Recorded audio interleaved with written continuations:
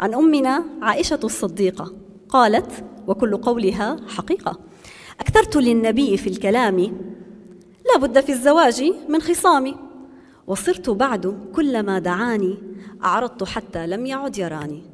وطال هجري والنبي صابر يهفو له قلبي ولا يكابر. فقال مهلا أم عبد الله الصلح خير من خصام واهي لا بد من شخص يكون حكما يرضى كلانا حكمه ويلزم. قال هل ترضين ما يقضي عمر؟ قالت معاذ الله بل أرضى القدر. قال فهل أدعو إذا عثمانا قالت وما يدريه ماذا كان؟ فهل أدعو إذا عليا قالت أعوذ إن تك تقيا فهل أبو بكر يحل المشكلة؟ قالت نعم أبي لكل معضلة. فارسل المختار للصديق تعال يا ملاذ يوم الضيق. وجلس المختار للتحكيم. وجلس كالخصم والخصيم. وبدأ النبي يحكي ما حصل. مبينا أسباب ذلك الزعل.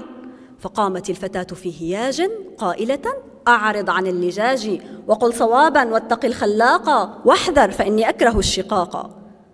فدهش الصديق مما سمع. واصفر لون الوجه منه فزعا ولطم الفتاة باليمين وقال يا قليلة اليقين لمثله يقال قل صوابا أيكذب المختار إن أجاب؟ وهم أن يبطش بالصبية فاتخذت ظهر النبي حمية فأمسك المختار كف صاحبه. الصلاة والسلام عليك يا سيدي يا رسول الله.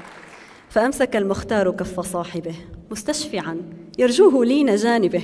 أقسمت بالله عليك جاهدا دعها فإن كنت فيها شاهدا. واترك لنا أمر الخصام بيننا نقضيه صلحا تحت سقف بيتنا. فلم يزل به إلى أن خرج من حيث كان قبل ذلك ولجا فعاد يدعوها إلى الوفاق فانتبذت منه على شقاق.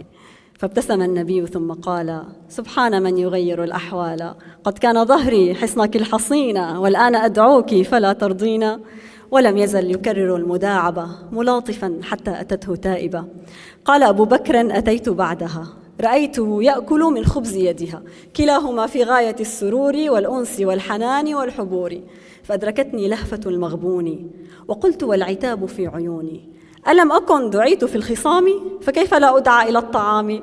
فنظر النبي للصديق وضحك فنظر النبي للصديقة وضحكا لروحه الرقيقة وقال أهلا سيد القضاة ومصلح الأزواج والزوجات أنت لنا في الحرب والسلام رفيق صدق البدء والختام. صلى الله عليك يا سيدي يا رسول الله.